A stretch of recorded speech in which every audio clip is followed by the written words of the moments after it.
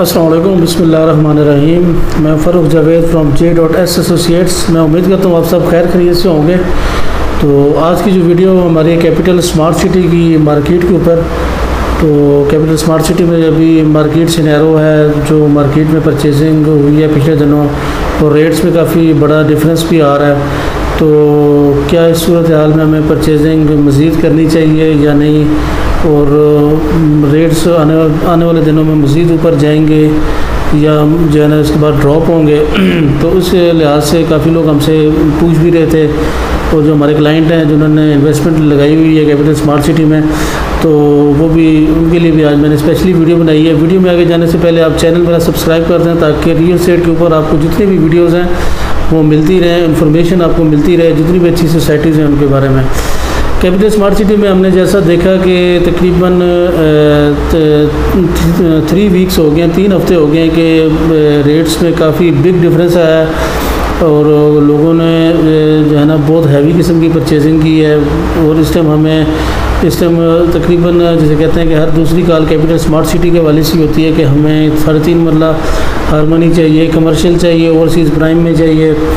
तो इस time market में काफ़ी जो है ना वो हलचल है कैपिटल स्मार्ट सिटी की।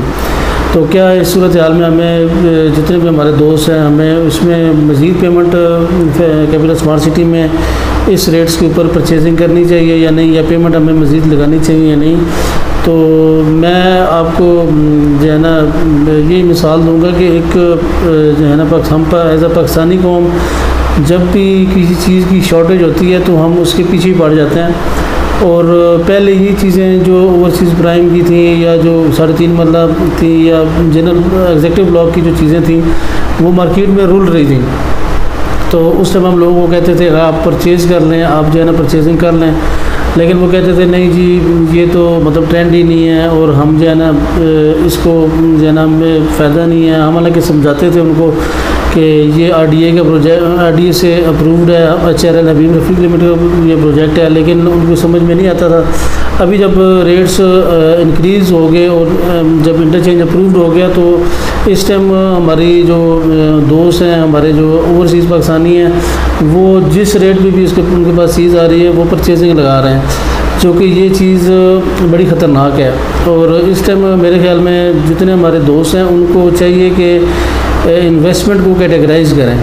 मतलब जो जो जो जो परचेजिंग करनी है, उसको आप बड़ी, जैसे कहते हैं कि देखभाल के इन्वेस्टमेंट करें। उसमें हम कैटेगराइज किस तरह कर सकते हैं अपनी पेमेंट्स को।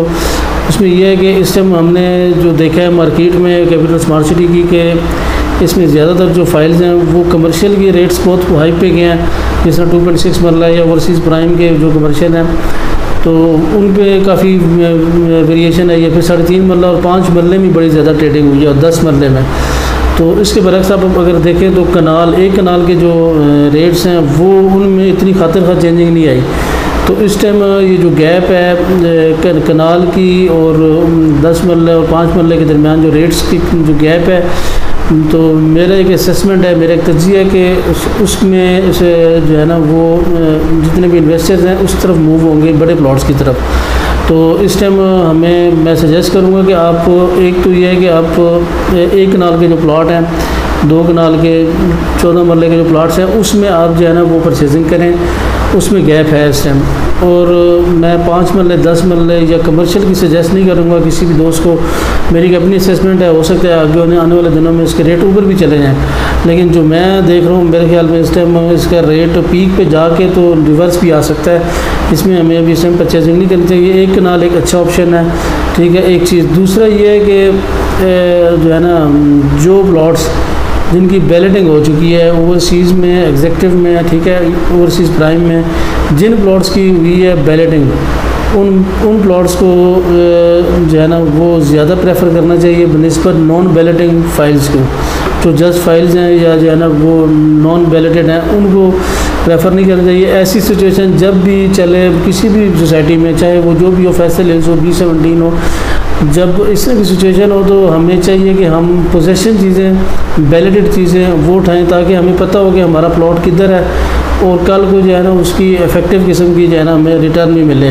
बनस्बत आप अगर इसके बरक्स आप देखें, जो नॉन वैलिडेड चीज़ें होती हैं, उसमें वेरिएशन बहुत जल्दी आती है और जो बड़े इन्वेस्टर होते हैं, जो बड़े वेल्स होते हैं, उसमें ज़्यादा गेम करते हैं। तो मैं आपको यही सजेस्ट करूँगा कि आप इसमें जो है ना वैलिडेड चीज़ें और जो पोजेशन और कटिंग जो चीज़ें हैं, उनमें पेमेंट्स लगाएँ।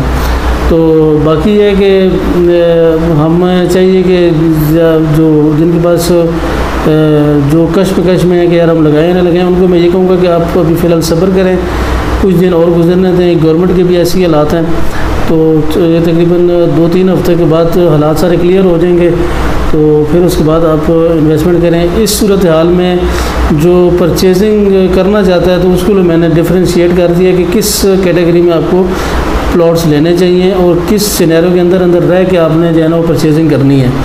तो ये सर एक छोटी सी वीडियो थी अपने जितने भी क्लाइंट्स हैं कैपिटल स्मार्ट सिटी की, उनके हवाले से, क्योंकि मैं अपना फ़र्ज़ समझता हूँ कि मैं जो है ना, लोगों को एक डायरेक्शन दूँ रियल स्टेट के हवाले से, क्योंकि हमने ऐसे फेजेस काफ़ी देखे हैं, बड़ी सोसाइटीज़ में देखे हैं। आपने देखा है जिस तरह डी एच ए मुल्तान में अभी रिसेंटली हुआ D H D H A Gujranwala Gujranwala वाला में जिस तरह हुआ है, लोगों को इतनी ज़्यादा ये सब लॉसेज हुए हैं। तो ये सूरत हाल, मैं नहीं चाहता कि अभी कैपिटल स्मार्ट सिटी में भी लोगों के साथ हो।